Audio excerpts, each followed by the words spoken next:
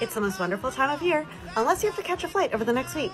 Ah! Holiday travel is stressful, so here are some tips on how to make the most of your time at five of Canada's busiest airports.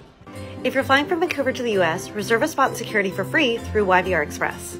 Also download the YVR Order app to skip the line for food, like Japadog and Pajo's Fish and Chips. Need help? Look for Green Coat volunteers and customer care staff. At Calgary Airport, book your spot in security for free using YYC Express. And pick up some last minute gifts at the newly opened Rocky Mountain Chocolate. Need help? Look for volunteers in white cowboy hats for assistance. Plus, look out for pre board pals, dogs and cats offering comfort at the gate. Domestic and international travelers flying out of Edmonton can book a spot in security up to 72 hours in advance using the YEG Express app. Hate plain food? Grab takeout at an Edmonton grown chain like Boston Pizza, Booster Juice, and Wok Box. Find cuddly companions offering pet therapy, and you can catch a music performance at one of four YEG live stages. Traveling through Pearson? Make a reservation at security up to 72 hours advance using YYZ Express. And those traveling to the US can use the Mobile Passport Control app to submit customs info. And keep tabs on the wait times at airline counters, security, and US Customs through the airport website's wait time dashboard.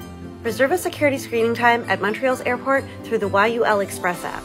And look for YUL ambassadors in red jackets for help in 13 languages. Traveling internationally? Check out Cyberstation with more than 25 video games and 5 PlayStation consoles. Happy holidays and safe travels!